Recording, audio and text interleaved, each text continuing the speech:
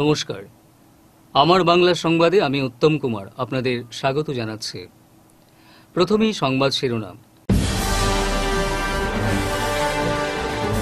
শিলচর স্টেশনে বাজার ব্যাগে শিশুর মৃতদেহ, জনমনে চাঞ্চল্য।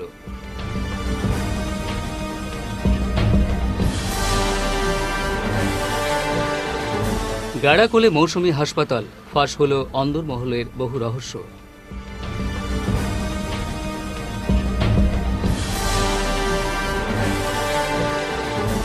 রাতাবাড়ি নির্বাচনে বুথ দখল করেছে বিজেপি। জোরালো দাবি সতু রায়ের।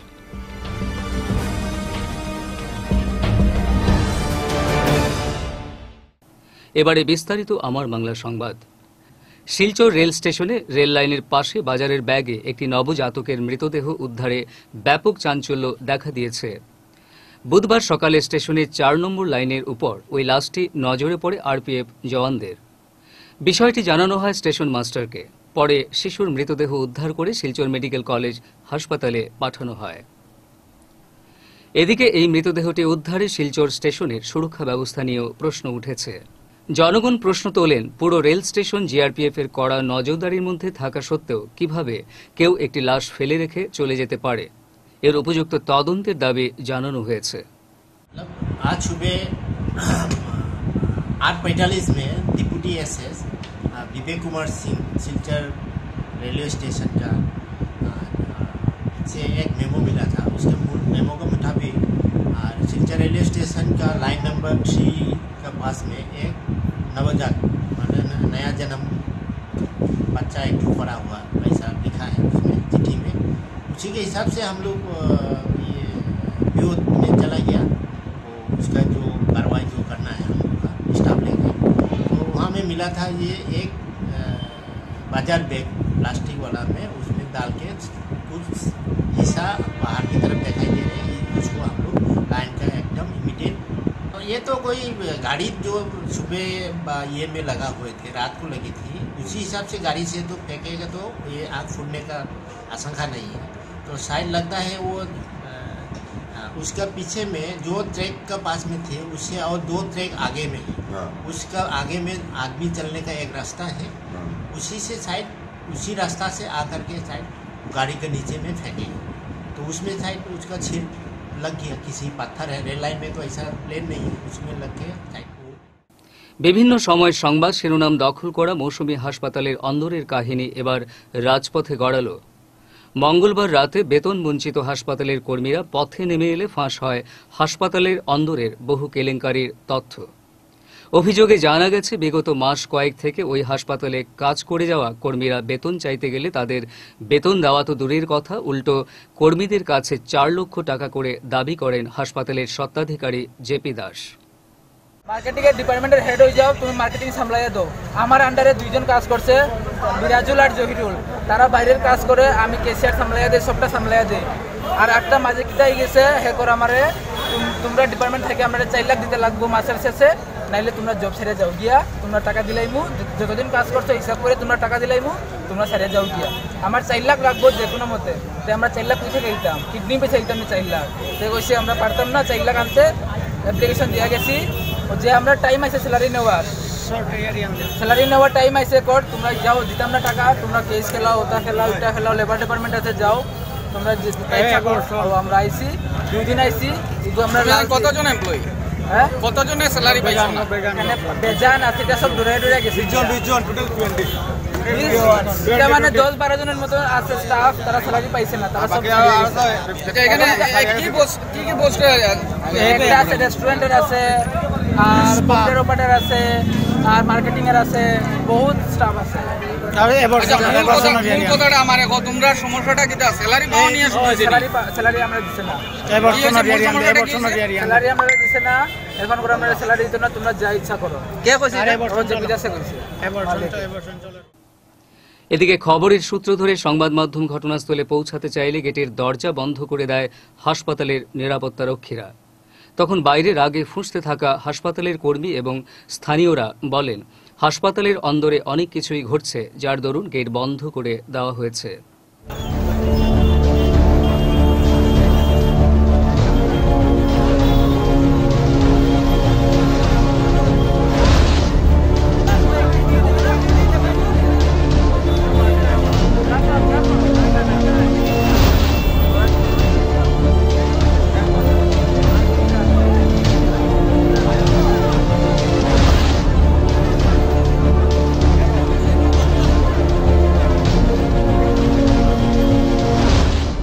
তারা তখন একে একে তুলে ধরেন মৌসুমী হাসপাতালের অন্দরমহলের অনেক কাহিনী। এটা অ্যাকচুয়ালি কি হসপিটাল না আরও কিছু? ওই তো মেসেলে এখনও ভিতরে আছে ওই মারা। ওই তো মেসেলে ভিতরে ওনো মারে হোটেল রেস্টুরেন্ট সব আছে ভিতরে। ওই তো প্লে গেট প্লে আপনারা বলতে চাচ্ছেন হসপিটাল নামে বিভিন্ন ধরনের অসামাজিক হসপিটাল আছে রেস্টুরেন্ট আছে স্পা আছে সবটা আছে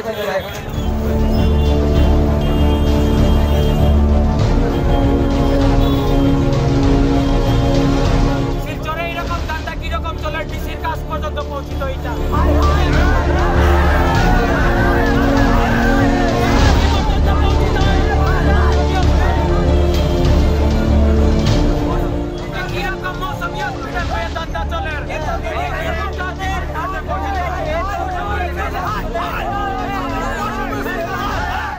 পর্দা উর্দা লাগাই রাখছে কেবিনও। সব ছেলে মেয়েরে দেয় আর ছেলে মেয়েরে দেয় এখানে ফুটেজ আছে এখন গিয়ে চেক করলে ফুটেজ পাইবে সব। ডিলিট তো করতো না এখন গিয়ে ফুটেজ পেলে ফুটেজ পাইবে। রুমে দেড় এক ঘণ্টা লাগিয়ে কাপড় ছেড়ে আর কিটা? এবর্ষণ বাচ্চা এবর্ষণ করায় বাচ্চা চল্লিশ হাজার দিয়ে বাচ্চা এবর্ষণ করায়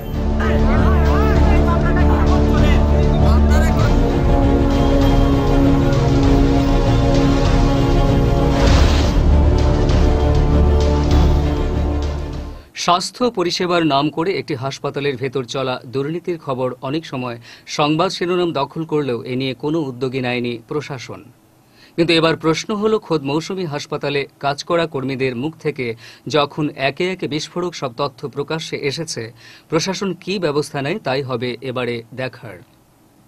সংরক্ষিত রাতাবাড়ি আসনে নির্বাচন শান্তিপূর্ণভাবে শেষ হলেও একটি ভিডিও ভাইরাল হয়ে পড়েছে। গোপন ক্যামেরায় ধরা পড়েছে একজন পুলিশ কর্মী। কীভাবে বিজেপি প্রার্থীর পক্ষে ভোট দিয়েছেন? হিন্দি স্কুলে থাকা ভোট গ্রহণ কেন্দ্রের ভিডিওটি ভাইরাল হতেই বিভিন্ন মহলে তোলপাড় শুরু হয়েছে।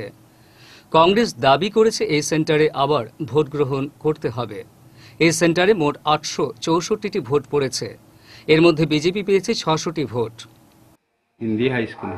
ও ইনো জিও সেন্টার ইয় বুট ইয় কাস্ট হয়েছে আটশো চৌষট্টি আটশো চৌষট্টি থেকে আমরা বিজেপি ছয়শো এক ছয়শো আপ পাইব আর বাদ বাকি দুই একটা এটা বলে বলে কংগ্রেস যাইব আর বাদ বাকি নাই আমরা তো যা পারছি এসে রাজু গোয়ালারে লইয়া সবটা সাইসান দেবাইতাম টাইমে মানলো না।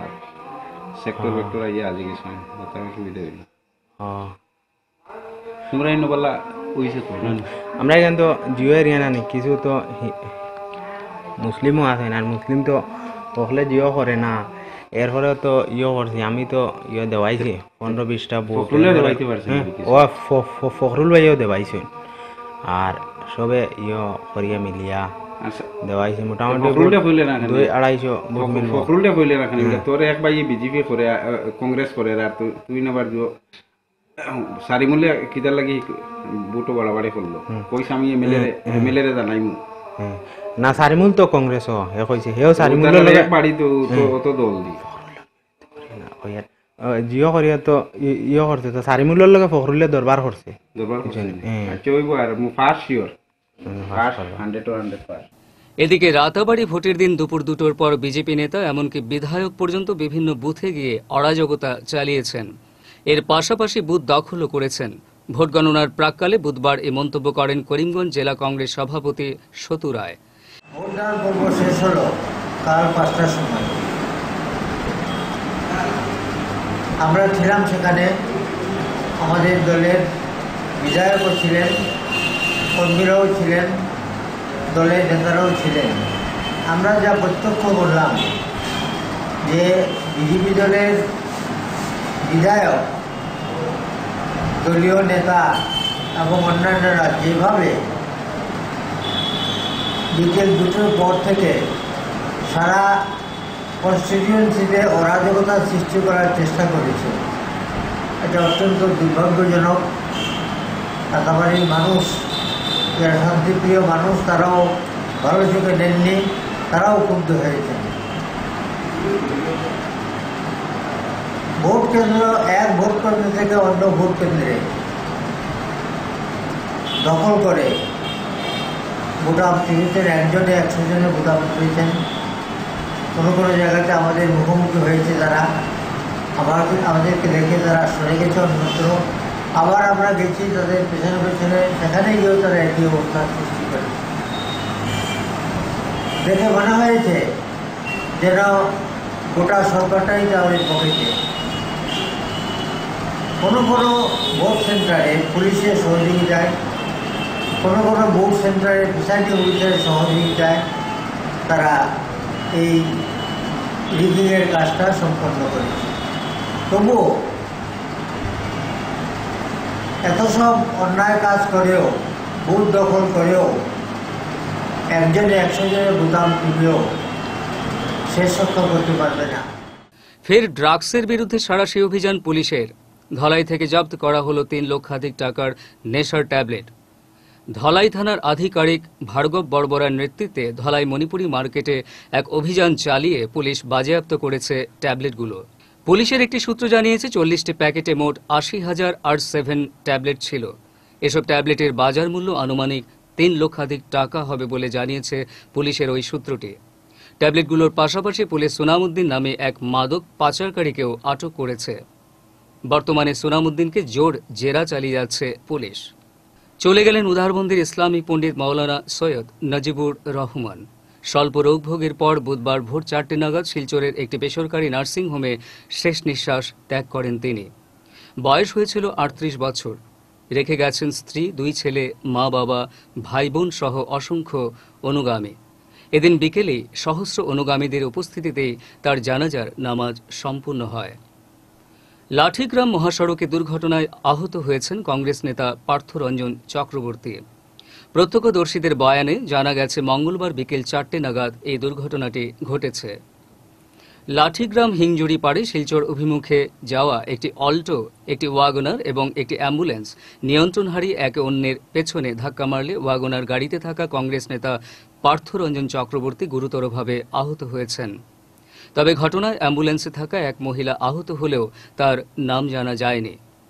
ঘটনার পর উধারবন্দ পুলিশ ছুটে গিয়ে অল্টো এবং ওয়াগনার গাড়িটি উদ্ধার করে থানায় নিয়ে আসে। স্থানীয় বাসিন্দাদের অভিযোগ, গত কয়েক বছর ধরে মহাসড়কের এক পাশ বেহাল হয়ে পড়লেও সারাই করা হয়নি। ফলে আকছাড় এই সড়কে দুর্ঘটনা ঘটছে। আগামী দু মাসের মধ্যে সড়ক সংস্কারে কোনো পদক্ষেপ নেওয়া না হলে আন্দোলনের পথে পা বাড়াতে বাধ্য হবে বলে জানিয়েছেন স্থানীয়রা। সুতারকান্দির দিকে যাওয়া একটি নম্বরবিহীন লরির ধাক্কায় আকবরপুরে প্রাণ হারালেন বছর পঞ্চাশের ঠেলা চালক আরকান আলী। মঙ্গলবার বেলা তিনটে নাগাদ এই দুর্ঘটনায় এক স্কুল ছাত্রসহ অন্য একজন আহত হয়েছেন। দুর্ঘটনার পর উত্তেজিত জনতা সাঁত্রিশ নম্বর জাতীয় সড়ক অবরোধ করেন। পরে অবশ্য সদর থানায় পুলিশ ও সার্কেল অফিসার রাকেশ ডেকার উপস্থিতিতে ওই অবরোধ প্রত্যাহার করা হয়। প্রত্যক্ষদর্শীরা জানিয়েছেন, দুর্ঘটনার পর লরি চালক লরি নিয়ে পালিয়ে যেতে চেষ্টা করলে পুলিশ সুতারকান্দির পার্শ্ববর্তী স্থান থেকে লরিটিকে আটক করে। প্রসঙ্গত, আকবর আলী তার পরিবারের একমাত্র উপার্জনশীল ব্যক্তি ছিলেন। মারিয়া আমরা ম্যাজিক অটো, বাইক লিয়ে আমরা গেছি। ইয়ার সুতাকান্তে আমরা ধরতে না ধরতে হে ডাইনে দিয়ে গাড়িটা ডাইন সাইডে ঢুকাইয়া। সে ফরিয়া দৌড়িয়া গেছে। প্রায় আমরা তাকিয়া আধা কিলোমিটার আগে তাকে দৌড় তুলিছে বন্ধে দিয়া। এখন আমরা বন্ধ মাঝে ভেঙে দিয়া করছি না।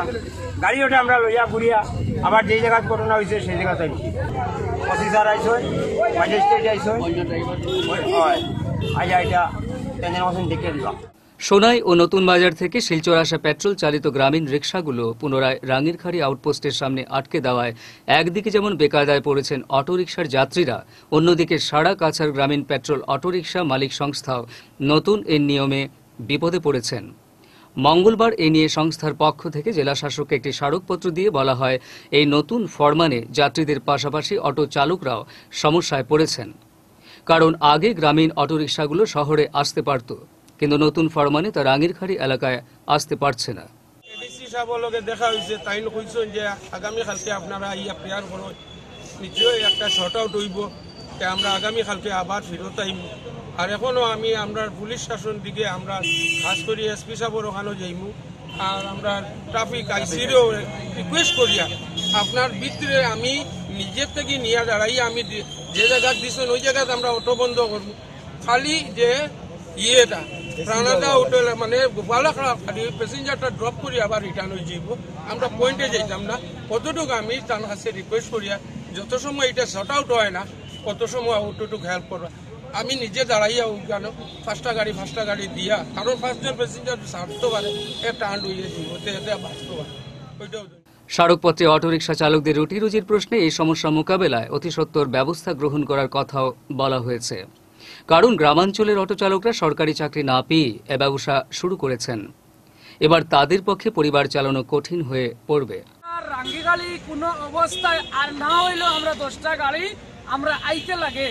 আমরা ওটা সিস্টেম করিয়া দিতে লাগবো। আমরার লাগে আমরার লাগে, আমরার কোনো উপায় নাই। আমরা একদম নিরুপায় মানুষ। এর লাগে আমরা এখানে আমরা আইছি। আর আওয়া লাগলে আরও আইমু। যতটুক লাগে এতটুক করমু সমরাং লাগে আমরা করমু আমরা শেষ করার আগে বিশেষ বিশেষ খবর আরও একবার। শিলচর স্টেশনে বাজার ব্যাগে শিশুর মৃতদেহ জনমনে চাঞ্চল্য।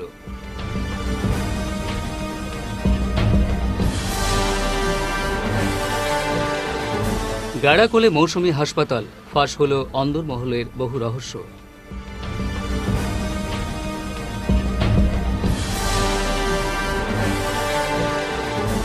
রাতাবাড়ি নির্বাচনে বুথ দখল করেছে বিজেপি, জোরালো দাবি সতু রায়ের।